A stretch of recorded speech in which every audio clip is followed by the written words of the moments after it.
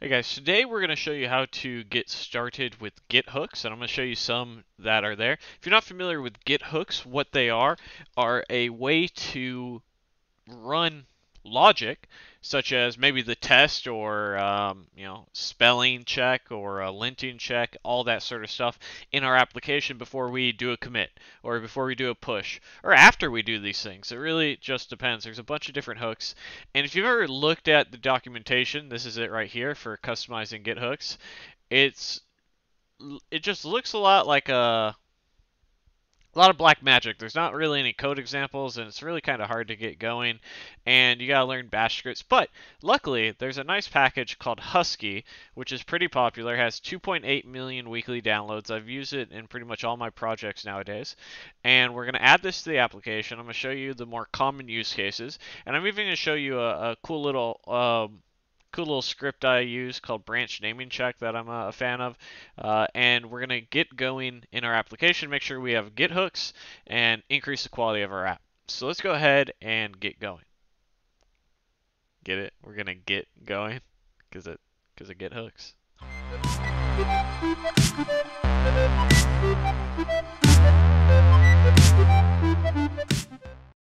I'd like to take a moment to thank our long-term sponsor, Dev Mountain Coding Bootcamp. I've been partnered up with Dev Mountain for a couple years now, and I've had the chance to see multiple campuses and housing. I've been really impressed.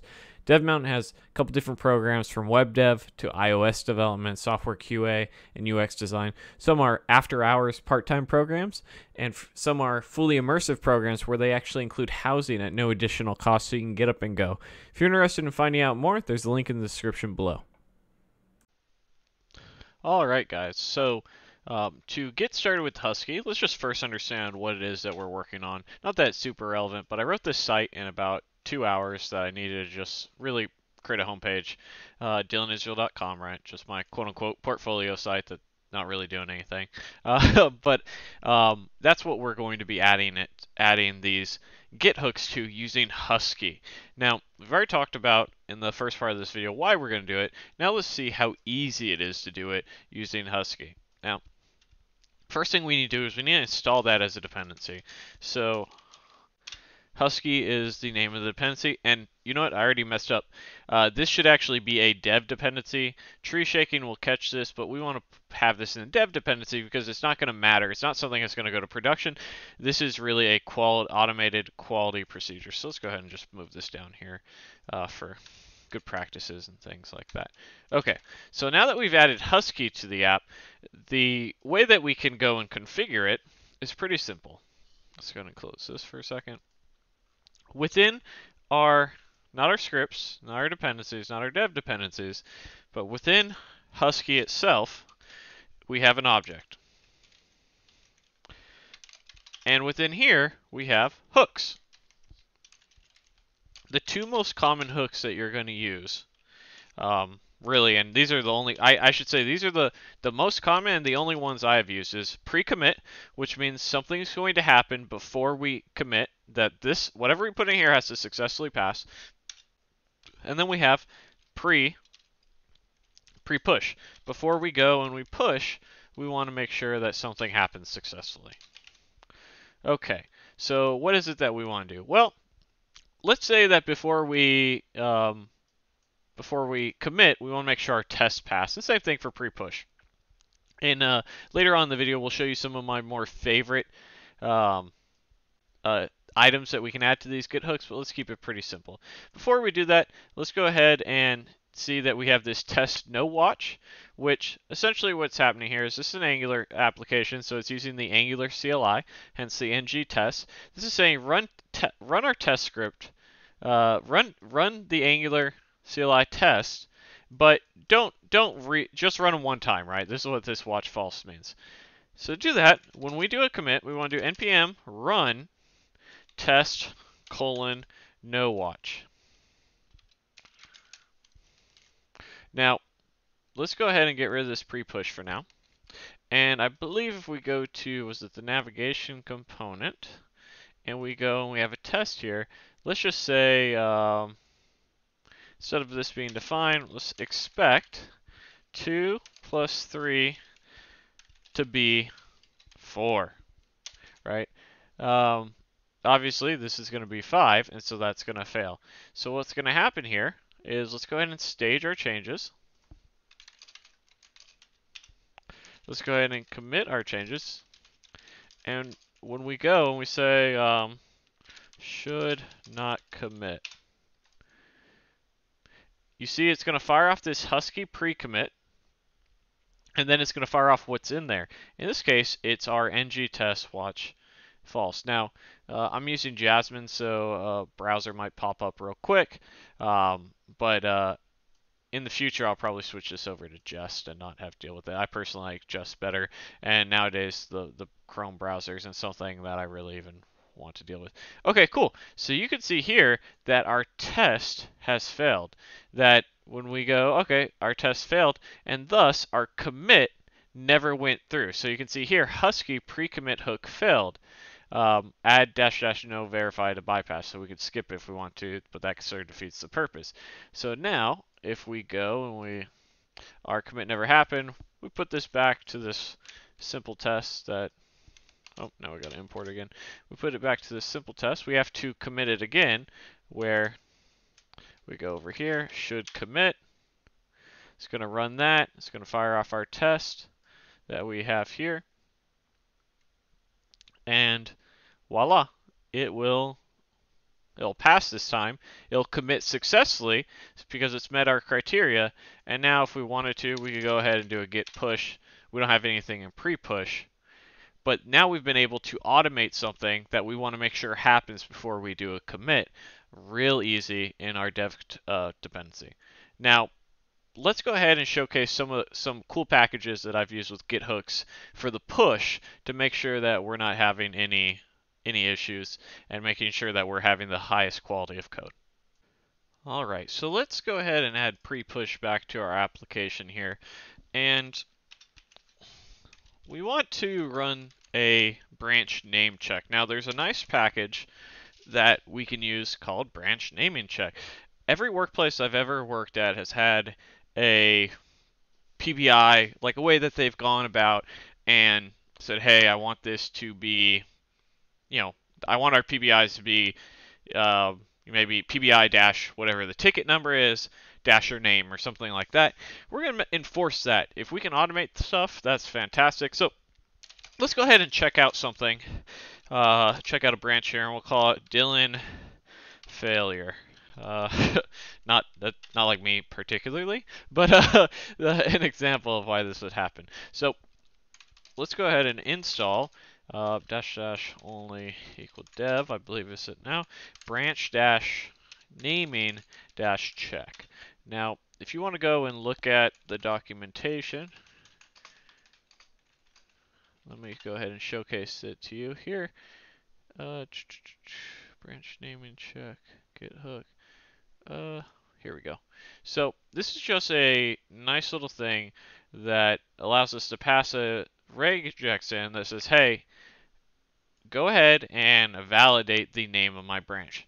Now we're not going to go into creating git hooks and all that sort of stuff, but if you go in, into the code, you can sort of see what's happening here. It's going to go and validate, it's going to do, you know, so on and so forth, and then you're going to have to put it in the .git file, and um, we'll do a whole nother lecture on creating your own git hooks. Right now, what we want to showcase is Husky and how it makes it easy for us, and this is something that's already written that I, I like quite a bit.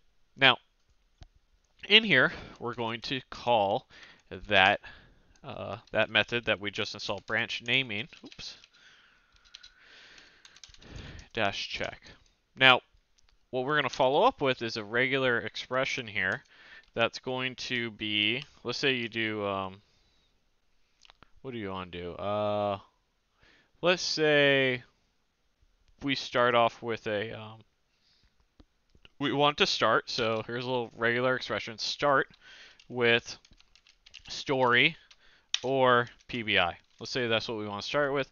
And then we want to do a dash, and then we'll escape here and do a D plus, which is basically a series, any series of numbers.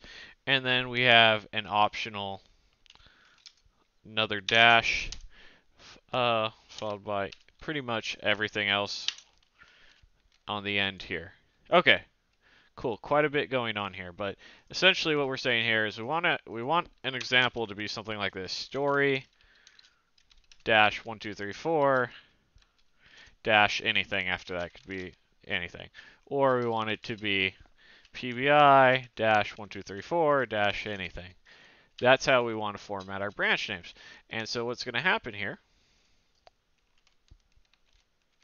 Uh oh, uh, just overwrite. Okay. So what's going to happen here, if we added our dev dependency correctly, which it did not, let's go ahead and close this and reinstall so it adds it. Uh, I think I added it to the wrong section. Uh,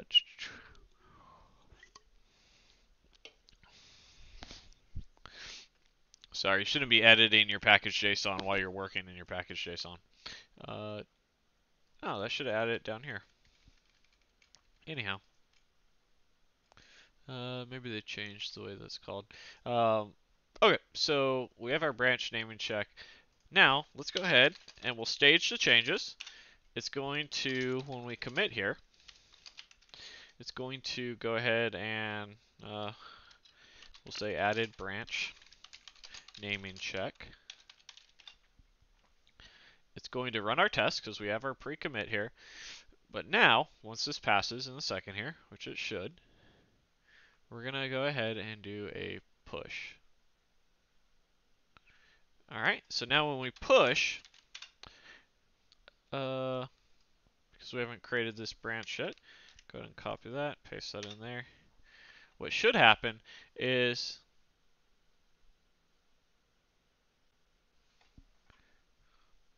What happened here? That shouldn't have worked. Branch naming check. Let me put this in, uh, put up here just to see if that has any impact.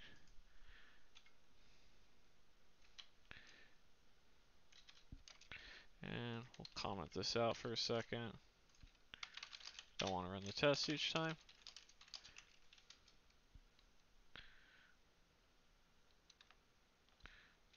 Test. Get push. Pre-push should have ran.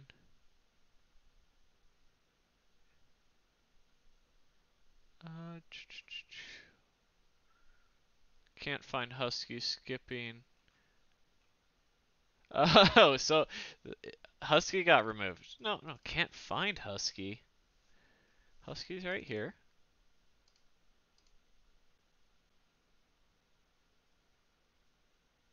Can't find branch naming check. Interesting. Did I spell it wrong?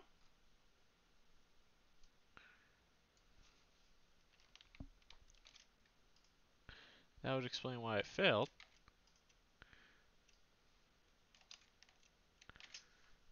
Huh.